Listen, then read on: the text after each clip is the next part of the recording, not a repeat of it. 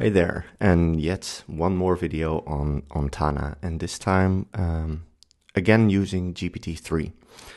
So I've been playing around a bit on how to use Tana Paste in combination with GPT-3. Uh, one of the things I do a lot is sort of manually structure the things I type, and was wondering whether I could find a way to get GPT to help me with this. So one of the easiest examples is um, I think we remember our uh, our little um, uh, project of trying to create meetings.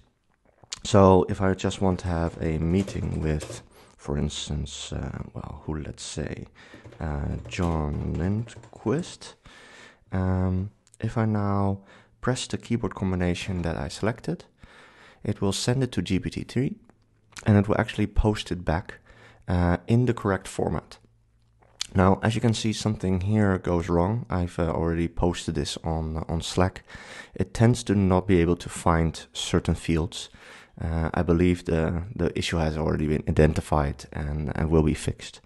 But what you can see here that's really cool is that one, it detected that this was a name, uh, which it tagged, and it put it in the attendees field. Um, similar stuff like this works if I have um, a one-on-one with uh, Peter Doe. Um, if we do the same, it will also convert this into its own specific type. Um, and again, this works reasonably well. Now, one of the things I also wanted to try was to see if I can get it to do almost like natural field building. So, um, give me two fields, um, let's say purpose and title. And then do the shortcut again, and it will give you two fields with a purpose and a title. Um, you can also see it's it's sort of combining or it's duplicating these things. Uh, I don't know exactly why that is, but it's probably because of the the paste format or something like that. Um, it doesn't bother me that much. It's simple to delete the other one. One more thing I wanted to to do was uh, simple math. So uh, having a little um, little uh, exercise here, we can just ask GPT to solve it. Um, now, I do have to say that uh, GPT has been notoriously bad at actually solving math, which is ironic for a computer. So don't trust it too much, or at least double check it. Um, but it works. Um, you can also use it to tag concepts. So, for instance, John Doe works at Google and moonlights at Twitter.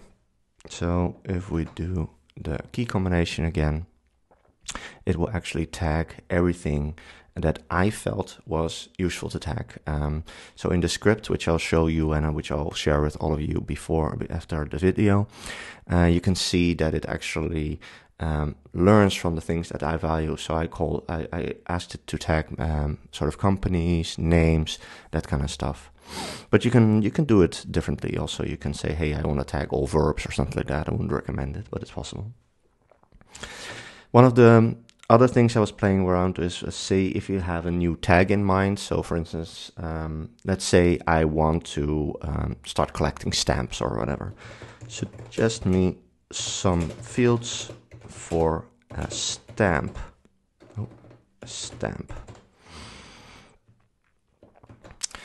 And in this case, um, what it will do is it will actually ask GPT and say, hey, what are um, common fields? And it will also create the, the super tag for you. So this is a great way, for instance, to implement um, sort of the fluid structure.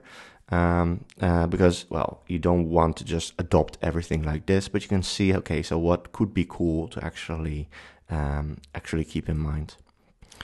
Um, one more thing I taught it is um, to do natural date recognition. So, so hmm. and not only when you do the um, um, uh, use the at uh, aspect, you can also just combine them, multiple things, in a sentence, and it will tag them all appropriately.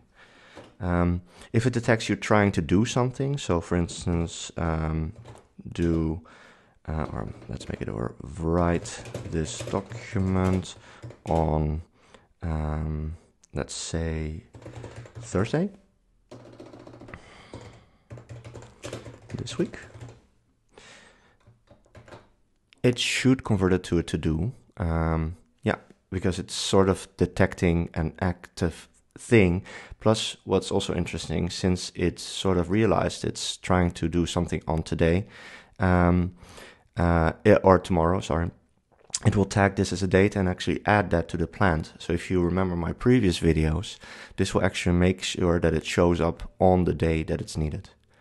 So there's a lot of power here, um, and it's not perfect. Again, um, there's some some quirks with the the duplication of stuff, um, and I've just started using it, and I'm not quite sure how how happy I am with this being not integrated. But you can see sort of the power of having this integrated eventually in Tana, uh, suggesting different fields, um, helping me with these kinds of things, suggesting different tags depending on uh, the things I've previously tagged. So that's what I wanted to share today. Now, for a little bit of, uh, of insight, um, when you look at the script, I'm using ScriptKit uh, by John Lindquist, uh, and I've created an OpenAI enrich um, uh, uh, script. Uh, oh.